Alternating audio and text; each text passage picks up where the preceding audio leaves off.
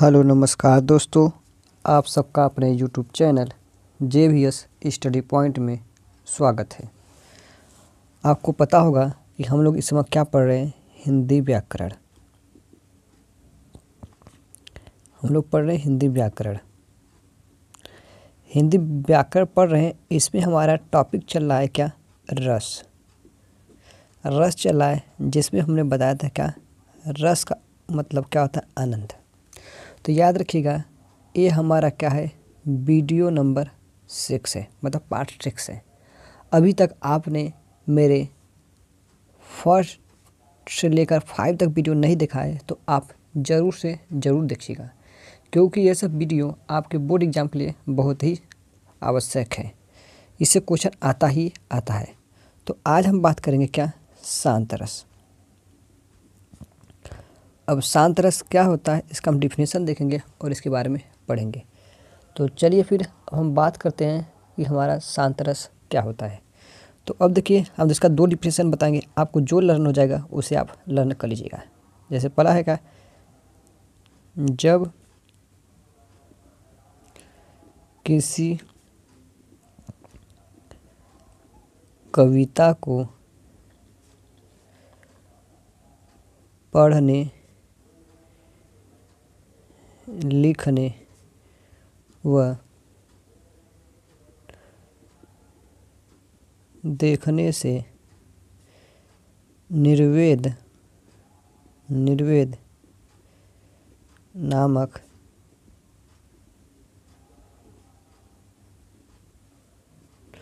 स्थायी भाव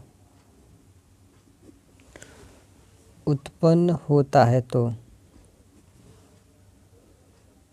है तो उसे शांत रस कहते हैं। शांत रस कहते हैं। हमने क्या लिखा है? जब किसी कविता को पढ़ने, लिखने व देखने से निर्वेद नामक स्थायी भाव उत्पन्न होता है तो उसे हम शांत रस कहते हैं।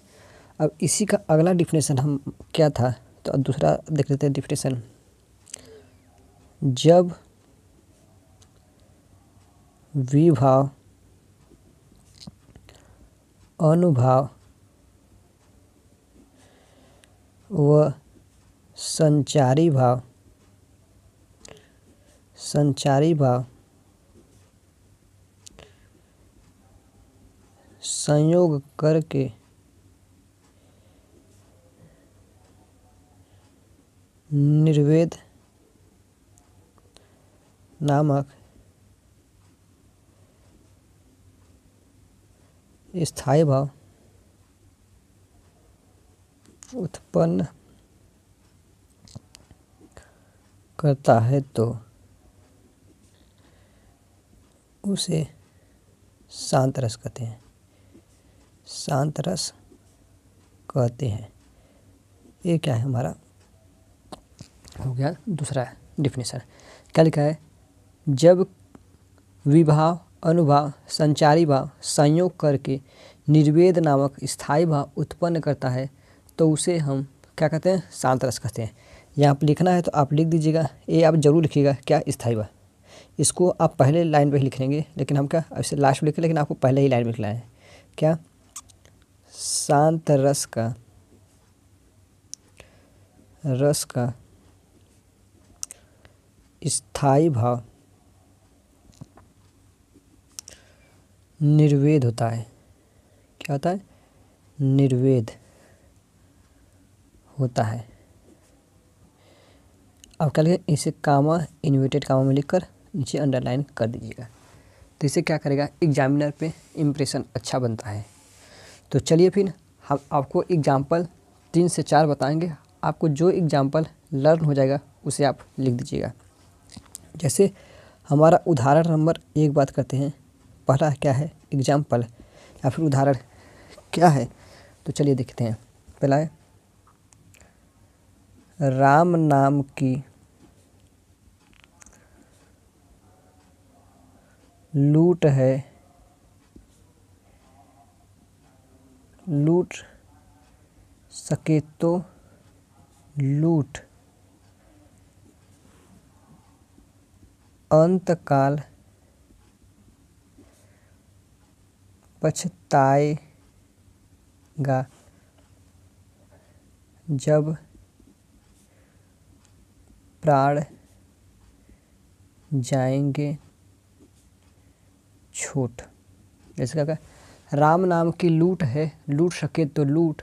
अंत काल पछताएगा, जब प्राण जाएँगे छूट। ये हमारा क्या होगा फ़र्स्ट एग्ज़ाम्पल हो गया।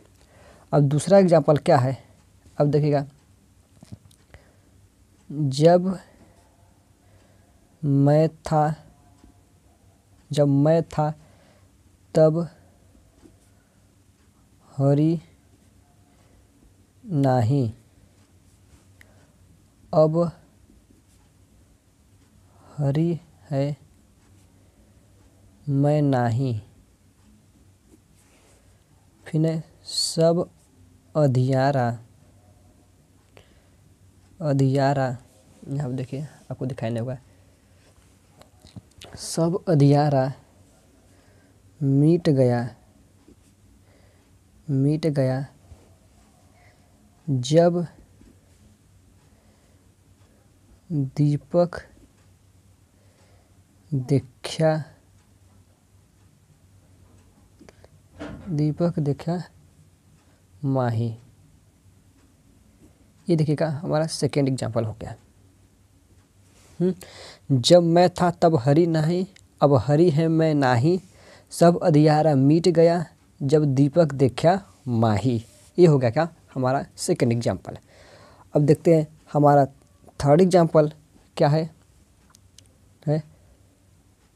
लंबा मार्ग दूरी घर। लंबा मार्ग, दूरी घर।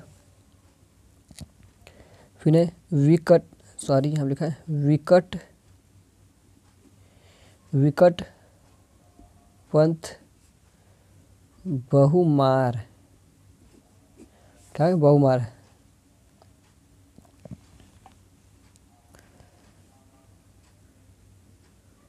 क्या फिर कहो, संतो।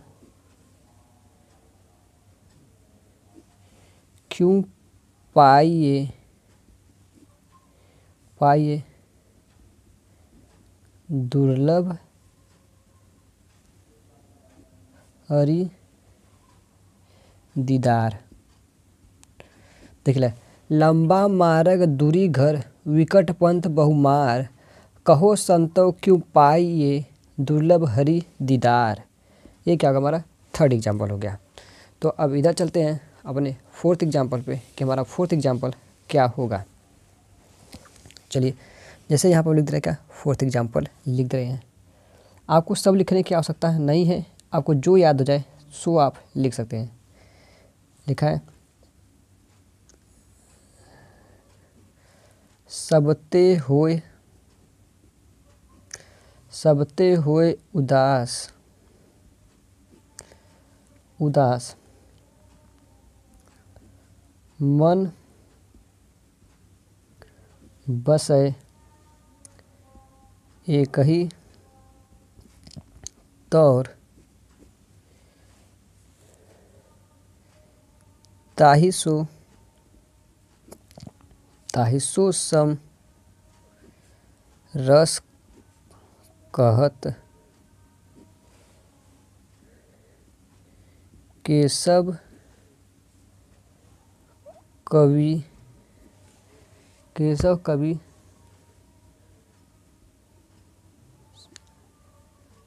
सभी कवि सिर मोर। देखा क्या लिखा सबते हुए उदास मन, बसे एक ही तौर। तहिसो सम रस कहत केशव हरि सिर मौर। ये हो गया क्या? हमारे चार एग्ज़ाम्पल हो गए। तो चलिए फिर कैसे क्या लिखा है? सात रस। हमने लिखा क्या? जब किसी कविता को पढ़ने, लिखने व देखने से निर्वेद नामक स्थायी भाव उत्पन्न होता है तो उसे शांत रस कहते हैं। अब उसी में अगला क्या था? जब विभाव, अनुभाव व संचारी भाव संयोग करके निर्वेद नामक स्थायी भाव उत्पन्न करता है तो उसे शांत रस कहते हैं। तो आपको जो देखिए, हम यहाँ पर दो डिफिनेशन बता दिए। आपको जो अच्छा लगे, जो लर्न हो जाए, आप वह लर्न कर लीजिएगा। अब जैसे हमारा एग्ज़ाम्पल है राम नाम की लूट है, लूट सके तो लूट अंत काल पछताएगा। लिखा क्या? लिखा पछताएगा, यहाँ पर लिखा ये लिखा गया, यहाँ पर सवाल लिखा है। अंत काल पछताएगा, जब प्राण जाएँगे छूट। अब अगला है, जब मैं था तब हरी नाही, अब हरी है मैं नाही, सब अधियारा मीट गया, दीपक देखा माही। अब अगला क्या है लंबा मार्ग दूरी घर, विकट पंथ बहुमार। कहो संत, क्यों पाइए दुर्लभ हरि दीदार? अब अगला क्या है हमारा यहाँ पर? सबते होए उदास मन, बसे एक ही तौर। ताहिसो समरस कहत है केशव हरि शिव, सिर मौर। ये क्या हो गया? हमारे एग्ज़ाम्पल हो गए। अभी तक आपने मेरे सभी वीडियो को नहीं देखा है, आपने सभी वीडियो को हमारे नहीं देखा है तो आप ज़रूर से ज़रूर देखिएगा, क्योंकि उससे पहले वाले वीडियो में हमने क्या बताया? श्रृंगार रस को बताया है। उसमें हम वीर रस बता चुके हैं। वीर रस। क्या और क्या बता चुके हैं हम लोग? करूड़ रस। और हम लोग क्या पढ़ चुके हैं? हास्य रस। इसमें हमने पढ़ लिया है और आज की वीडियो में हमने क्या पढ़ा? शांत रस के बारे में पढ़ लिया। तो ऐसे ही अपने हर वीडियो में हम अलग अलग रस के बारे में पढ़ रहे हैं। तो आज के वीडियो में हम बस इतना ही बात करते हैं। आपको यह वीडियो कैसा लगा हमें कमेंट कर ज़रूर बताइएगा। तो आज की वीडियो में बस इतना ही। धन्यवाद।